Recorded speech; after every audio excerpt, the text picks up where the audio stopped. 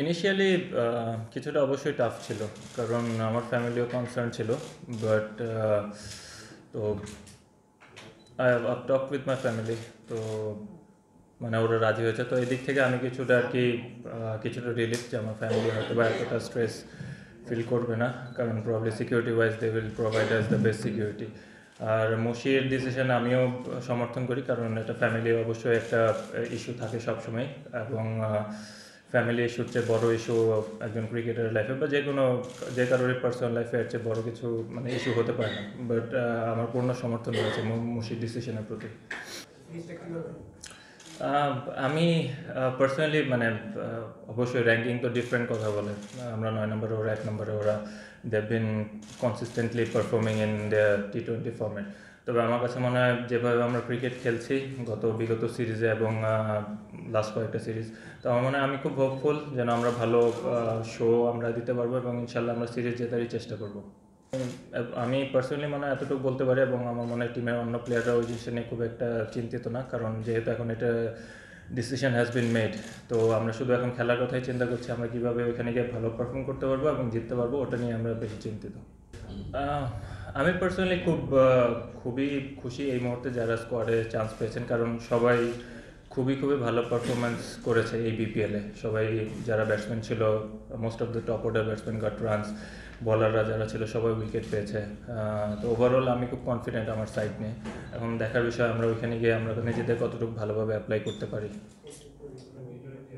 না, অবশ্যই এটা আমি, এবং আমার মনে দুজনই পার্সোনালি এটা ফিল করি যে আমাদের দায়িত্বটা হয়তো একটু বেশি থাকবে স্পেশাল অর্ডারে তামিমের এক্সপিরিয়েন্স অনেক বেশি ম্যাটার করে ও খুব ভালো ছন্দে আছে, অনেক রান করেছে এই বিপিএলে আমি পার্সোনালি ফিল করব যে অবশ্যই আমি আমার দায়িত্বটা যেন কন্টিনিউ করতে পারি, এবং আমার যে রোলটা থাকবে probably to take it deep in the batting তো আমি ওই জিনিসটা করার চেষ্টা করব। আমার মনে হয় প্রতিটা ইন্ডিভিজুয়ালেরই দায়িত্ব থাকবে। আর আপনি যেটা মেনশন করলেন যে অনেকেরই হয়তো বা ডিফারেন্ট ব্যাটিং অর্ডারে ব্যাটিং করতে হতে পারে। তো এটা আমার মনে হয় সবার ভিতরেই ওই অ্যাডাপ্টেবিলিটিটা অলরেডি মেন্টালি ওরা চিন্তা করছে এবং আমার মনে হয় hopefully they will cope with it অবশ্যই আমি চেষ্টা করব যেন যেটা আমি মেনশন করলাম, আমি যতটুকু ডিপে ব্যাটিং করতে পারব, আমার মনে হয় যে আমি টিমকে আরও বেশি ভালো একটা স্কোর এনে দিতে পারব।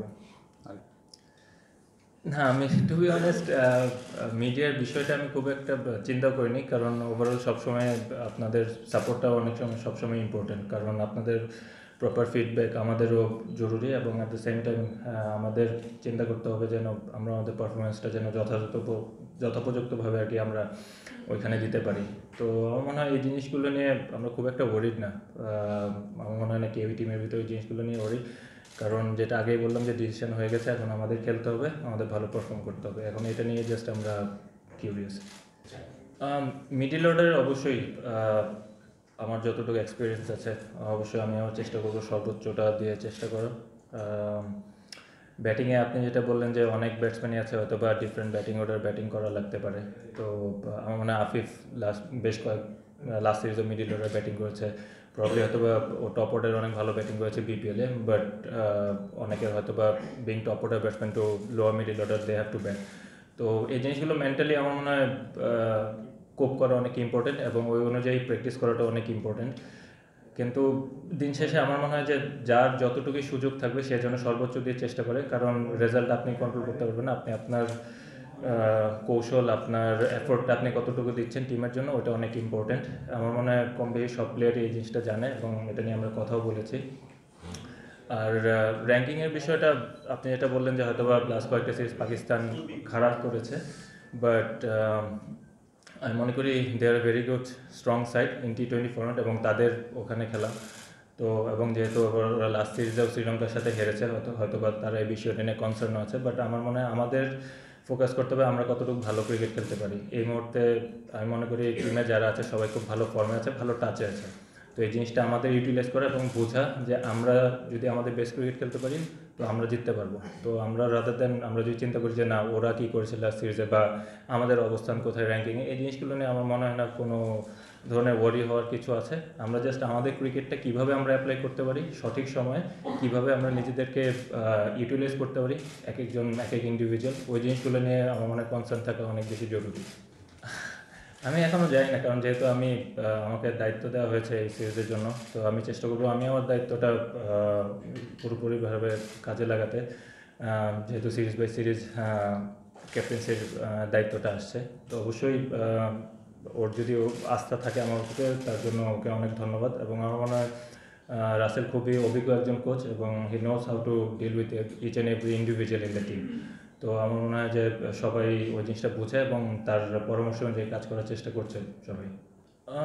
অবশ্যই পূর্ণ মেয়াদে তো অবশ্যই এটা আমার মনে হয় প্ল্যানিংয়ের জন্য অনেক বেশি মানে হেল্পফুল হয়।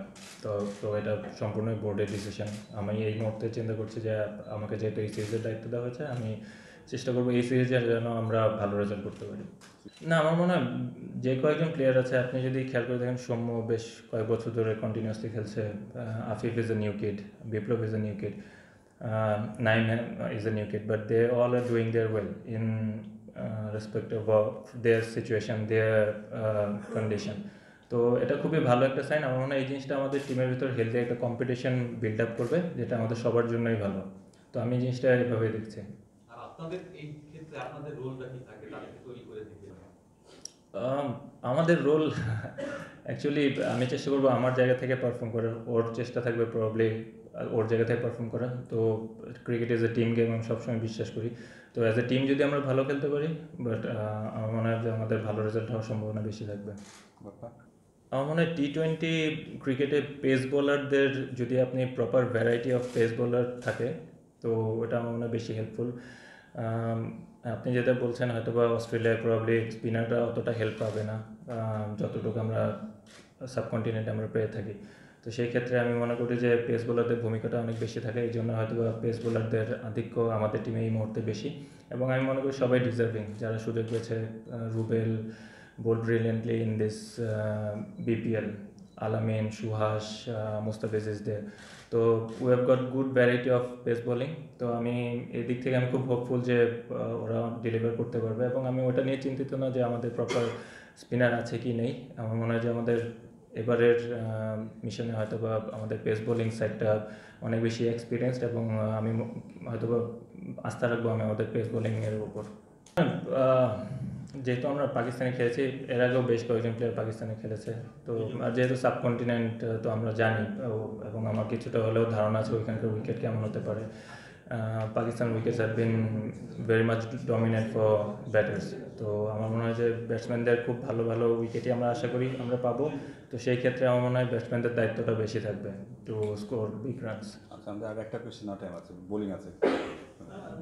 যেটা বলা হচ্ছিল যে ক্যাপ্টেন্সি দীর্ঘমেয়াদে পেলে ভালো হতো কিনা। একই সঙ্গে আবার একটা কোশ্চেন চলে আসে। আমরা ওভার দ্য ইয়ার্স দেখেছি যে ক্যাপ্টেন্সি ইনপুট নেওয়ার ব্যাপারটা টিম ম্যানেজমেন্ট খুব মানে বাংলাদেশে ওই চর্চাটা খুব কম।